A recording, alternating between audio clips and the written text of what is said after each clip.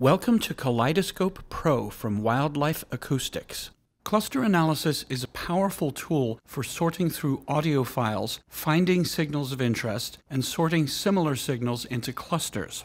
Once a basic cluster analysis scan has been run, it is then possible to build a simple or advanced classifier which can be used to sort new recordings. Let's explore how to get the best results from each of these steps. The first thing to understand about cluster analysis is that it is a statistical process.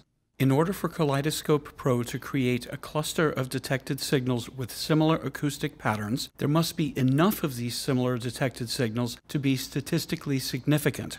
To make a simple analogy, if you have a thousand recordings of a dog bark and a single recording of a cat meow, the cat meow is not statistically significant.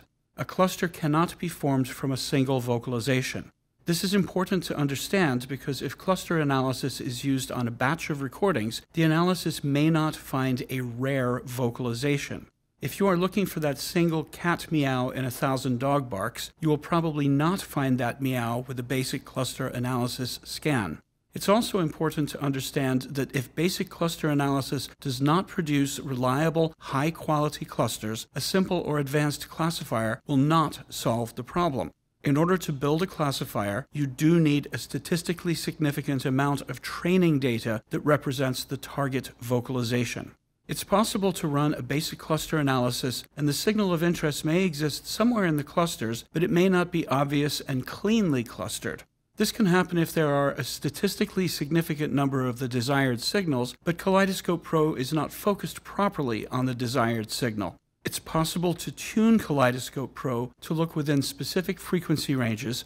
If you know the frequency range of the signal of interest, you can adjust the minimum and maximum frequencies under the Signal Parameters tab.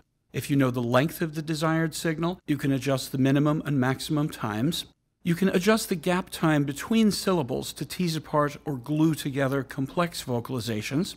Under the Cluster Analysis tab, changing the FFT size can also be helpful. A larger FFT window has greater resolution of frequency, which can make a significant difference for low frequency sounds. A smaller FFT window has greater temporal resolution and may be better at defining rapid vocalizations. Here's a simple example. I've done a basic cluster analysis on a batch of recordings. The cluster analysis has no problem finding common songbirds such as cardinals or titmice, I think there are also owls in these recordings, but they don't show up until I'm well down the cluster list, and they are mixed in with many false positives. Let's see if we can do better with these recordings. Because the owl makes a low frequency sound, I'll lower the maximum frequency parameter to 1000 Hz. This will cause Kaleidoscope Pro to ignore any detections above 1000 Hz. I'll also choose the largest FFT size so Kaleidoscope Pro emphasizes the frequency resolution. Now when I do a cluster analysis scan, I get far fewer clusters and the owls are better represented within the new clusters. I find my owls in clusters 2, 6, and 7. There are actually very few owl calls in these recordings, but there are just enough to create these three similar clusters. Because this tuned cluster analysis did a better job of finding the owls, I am now more confident about building a classifier to find owls in a new batch of recordings. When Kaleidoscope Pro does a basic cluster analysis batch process, one of the output files is the cluster.kcs file. This file contains the statistical models of the clusters from the scan. The cluster.kcs file is a simple classifier and can be used to sort new recordings. As a convenience, I'll rename clusters 2, 6, and 7 as owls in the results window and then save. This updates the cluster.kcs file with the customized cluster names. Now I'll change Kaleidoscope's input directory to point to a new batch of recordings. These recordings were made at the same deployment site as the first batch of files, but they were recorded a year later. Under the Cluster Analysis tab, I'll choose the option to use the edited cluster.kcs file to sort the new recordings. I'm not concerned about the FFT size or settings under the Signal Parameters tab because the cluster.kcs file contains the settings from the original cluster analysis and will use them for the new recordings. I'll run a cluster analysis scan on the new data using my edited KCS classifier. This batch process does find owls in the new set of recordings and you can see the cluster is named as a result of using the previously edited cluster.kcs file. I have the option to build a single classifier that finds multiple species or even different vocalizations from the same species. If I'm looking to find multiple species from the same recordings, but those species have very different characteristics, I may want to create multiple classifiers based on ideal signal parameters and FFT settings for each species of interest. If I look through the new recordings, I see that most of the vocalizations that have been labeled as owls are owls, but there are also a few false positives. If I want to do the work and reduce the number of false positives found by my OWL classifier, I can create an advanced classifier.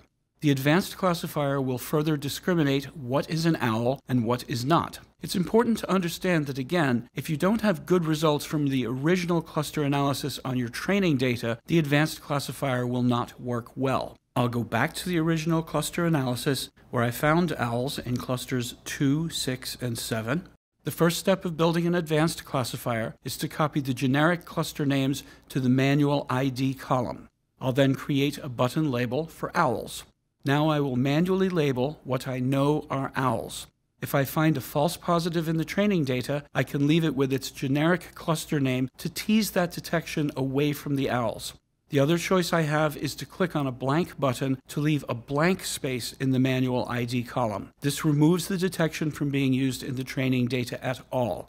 I might want to use that if I see a detection that I think is an owl but is poor quality or has other acoustic features I don't want as part of the training data.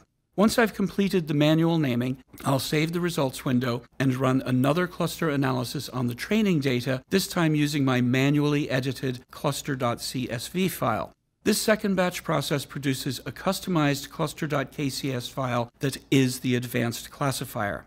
I can now use the advanced classifier to process the new recordings, and the results still isolate the owls in the new data, but this time around there are less false positive identifications in the owl cluster.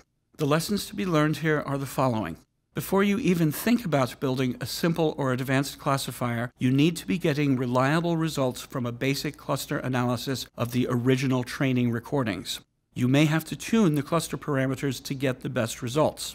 A simple classifier is a convenience for finding and naming detections in new recordings based on the training data.